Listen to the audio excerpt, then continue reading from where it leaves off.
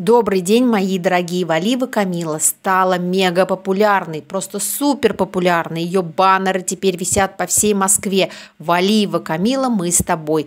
Вот такая колоссальная поддержка в столице России. Много возмущений в сетях полилось. Кто-то пишет – а плакаты с лыжниками повесят? Парни золото только что взяли впервые за 42 года.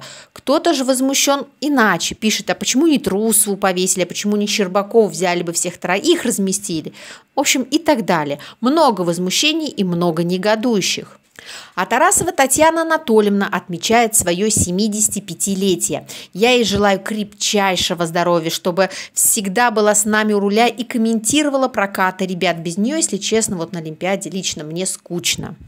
А Тарасова Татьяна Анатольевна очень хочет видеть Камилу Валиеву на индивидуальных соревнованиях и говорит, что это ее мечта вот на ее день рождения. А наша чемпионка Щербакова Анна провела тренировку в Пекине. Аня вышла на лед с пластырем на шее.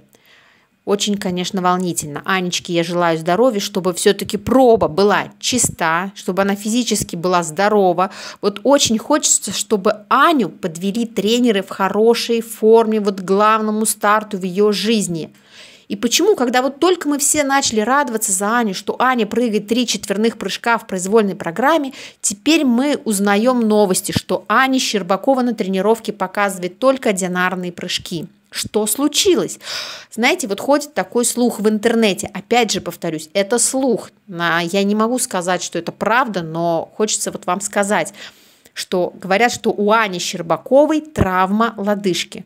Я держу кулачки за наших трех девочек. Хочется, чтобы 15 числа все были здоровы, чтобы 15 числа, 15 февраля не было никаких проблем с допингом, и чтобы все откатали просто на ура.